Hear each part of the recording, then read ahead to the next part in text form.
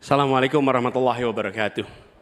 Ibu bapak, saudara sebangsa yang saya cintai. Selama satu tahun lebih kami berkeliling Indonesia berjumpa dengan jutaan rakyat. Mereka datang bukan mengharap bayaran, mereka datang membawa harapan. Mereka menginginkan ada perubahan, kondisi hidup yang lebih baik, bisa lebih makmur. Orang tua yang di malam hari melihat anaknya tidur dalam kondisi miskin, dia melihat sambil membayangkan, akankah anak saya tetap miskin seperti ini kelak? Bisakah mereka hidup lebih baik? Kami berjuang untuk perubahan agar orang tua yang miskin itu bisa melihat anaknya tidur sambil berkata, "Syukur alhamdulillah, walau saya miskin, walau saya kelas menengah, tapi negara hadir untuk membantu anak saya punya masa depan yang cerah." Perjalanan nil perjalanan spiritual bagi kami. Setiap jabat tangan, setiap pelukan membawa pesan. Pesan yang mereka sampaikan sebagai titip. Kami ingin Indonesia yang lebih baik. Kami ingin Indonesia yang lebih adil.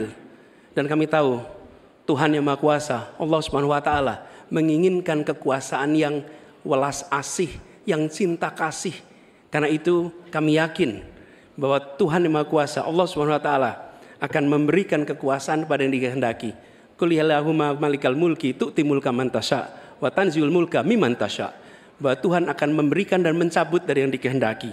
Karena itu kami dalam berjuang menyadari betul cinta kasih, welas asih, ketulusan, keteguhan menjadi bagian dari perjuangan ini kami menemukan orang-orang yang bertugas di lapangan bersama kami, TNI, polisi, ASN, kepada mereka kami sampaikan rasa terima kasih yang luar biasa. Dan kami akan perhatikan mereka untuk bisa hidup lebih baik setiap tahunnya nanti. Kita juga menyaksikan ada yang menolak ini, yang hidup dari ketimpangan ini, yang justru merasakan kekuasaan dari ketimpangan ini, itu yang akan kami lawan. Tapi kami tidak melawan dengan kebencian, kami tidak melawan dengan rasa ketidaksukaan. Kami akan membawa ini dengan spirit Surodiro Joyo Diningrat, lebur dining pangastuti, bahwa segala angkara murka akan kalah oleh kebaikan. Merah putih di atas semuanya. Penghormatan kepada kebinekaan, penghormatan kepada persatuan akan mengantarkan kita yang kita ikhtiarkan bersama-sama menjadi Indonesia yang cerdas, sejahtera, sehat. Kesetaraan kesempatan bagi semua itulah yang kami akan bawa.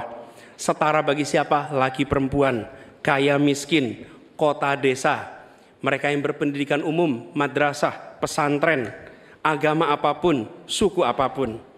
Dan kami akan tegaskan, negara tidak berdagang dengan rakyat, negara tidak pelit dengan rakyat, negara tidak berpaling dari yang papa, negara yang penuh cinta kasih kepada semuanya, negara yang hadir dengan perasaan yang halus, yang rahman, yang rohim kepada semua yang merangkul dengan perasaan cinta sebagai orang tua bagi anak-anaknya, sebagai abah bagi anak-anaknya semua, yang mencintai semua dengan sepenuh hati, memperhatikan yang paling bawah untuk meningkat kesejahteraannya. Agar apa? Yang di tengah terangkat.